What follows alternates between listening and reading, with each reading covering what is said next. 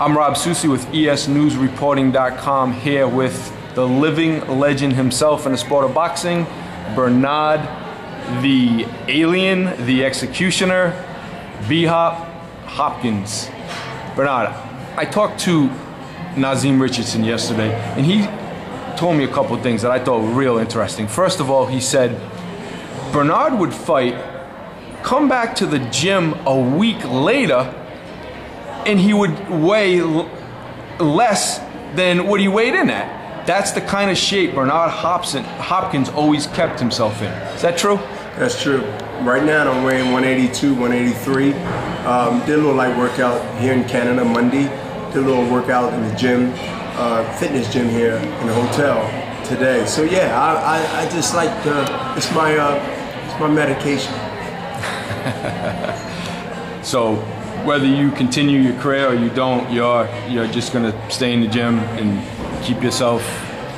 No, yes, yeah, I'll stay in the gym no matter uh, what I'm doing because of you know not only therapy for me, but it's just something that uh, my body's used to. I mean, we're going on three decades of you know, um, and to shut it down completely, um, I, I think it'd be a disservice to all the times and investments that I put in my body. So yeah, I, I, I love to be in shape. I love to look good in my clothes. I love to eat. So I must uh, I must do these things and then get rewarded later. And, and it's a beautiful thing. And I think that most people uh, really wants to do the same thing. You just got to be motivated, pick something that they care about, and they can they can take the same medicine I take, and that is walk, work out, sweat, exercise. Have you made a decision as to whether you're going to fight again? Yes, and I will. When? I'm saying early fall, hopefully uh, late winter or late fall. Um, give myself some time to work things out with whoever that is and, and, and, and make it a celebration more than just Bernard's trying to get another title. Bernard's trying to just fight again. Um, I want to do something special at 50. Then after that, um, the world will know that I will be full-time, full-time, dedicated and motivated, not only to my family, but to go to more promotion. You would say in your late 30s, I believe, that you wouldn't fight past 40. What, what changed your mind?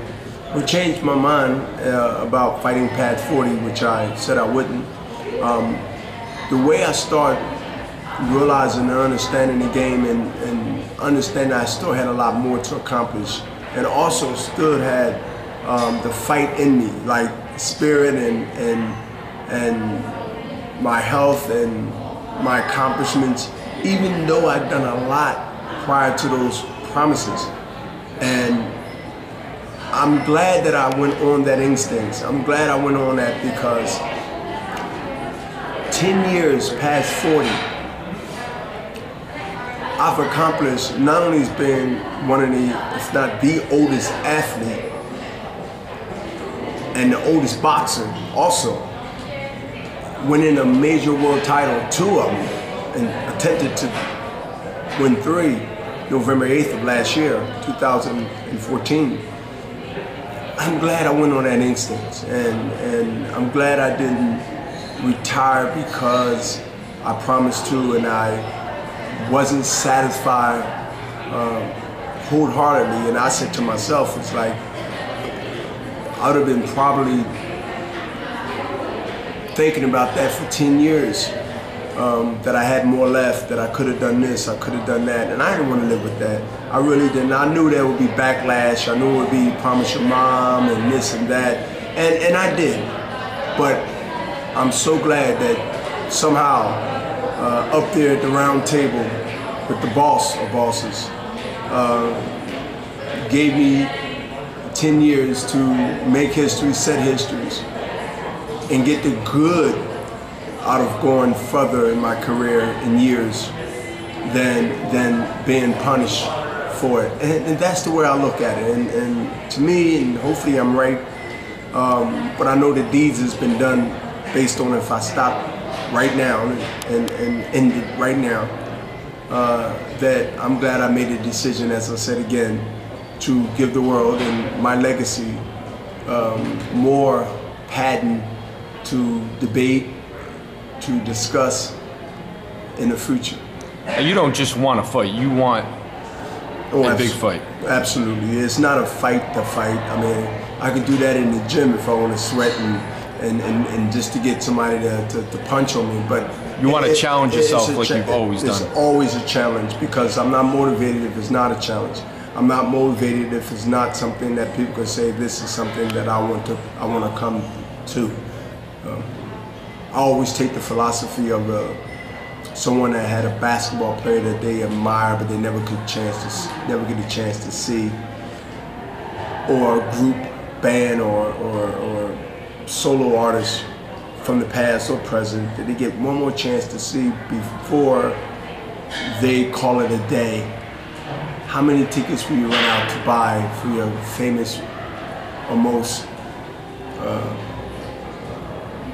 happy to see rock band R&B band, hip hop group, would you go buy a ticket if you get the chance to see them one more time?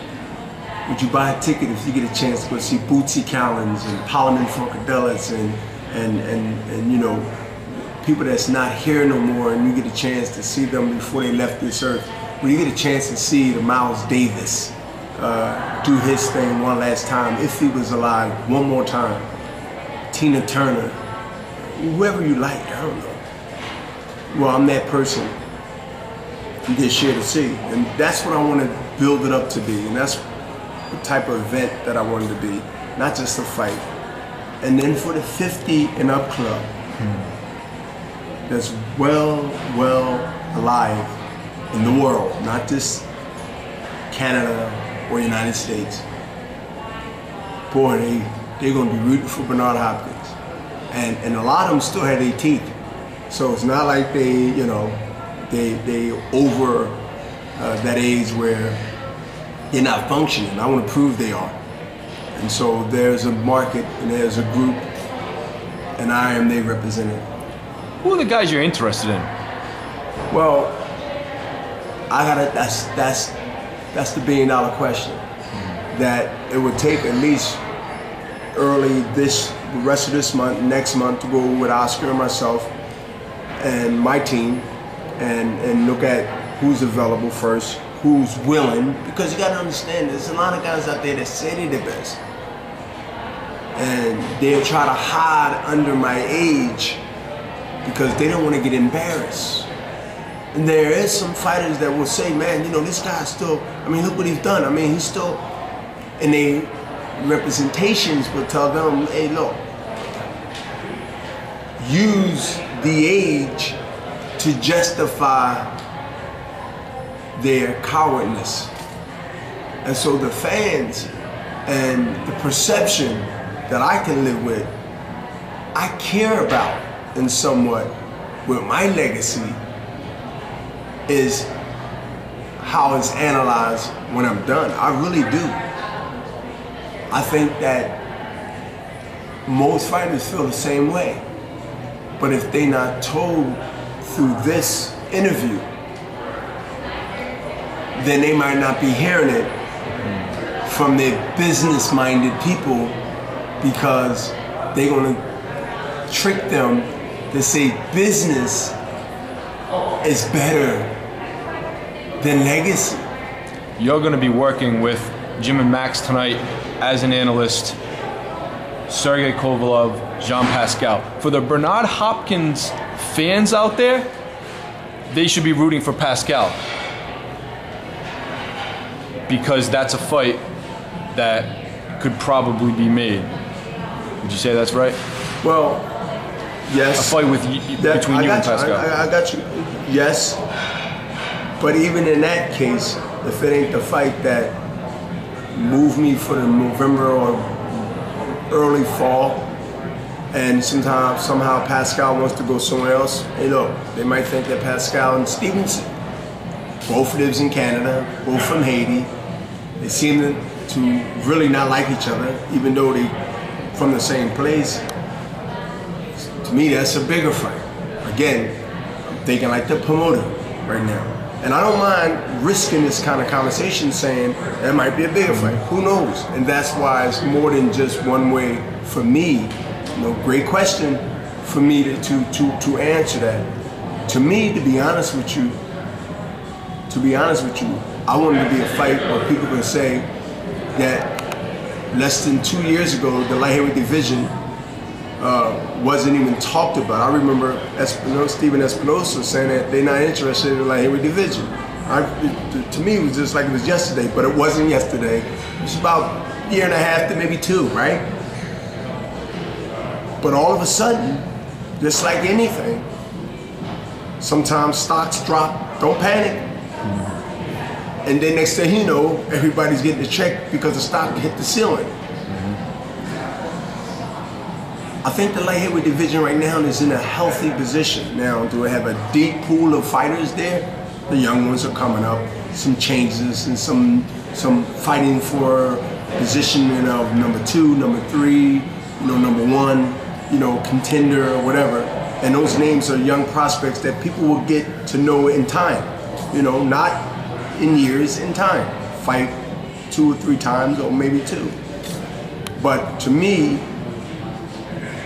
this fight tonight is very interesting for the light heavyweight division based on Jean Pascal's was willing to take on the crusher, Sergey, which is a big, big risk. But also is a risk for Sergey to take on a guy like Pascal because of his unorthodox. He has some respectful power, I should know. This what the light heavyweight division needs to clean out and weed out the wannabes and also the ones that have a position to say I am the God. But if you don't prove it and fight the fights that people want to see, then you become the God just with the title. And it changes as time go on. So I'm, I'm here to watch and, and, and, and give my opinion and expertise on what's going on. Because if you really look at the whole picture, not only am I aware of both fighters that's fighting tonight on HBO, I also know how most of their trainers are thinking because I've been in the ring even with their trainers. So that makes me a damn dinosaur. John David Jackson and Roy Jones Jr. So whenever you had a fighter that's, first of all, of age, that's well respected and a threat to anybody that I get in the ring with.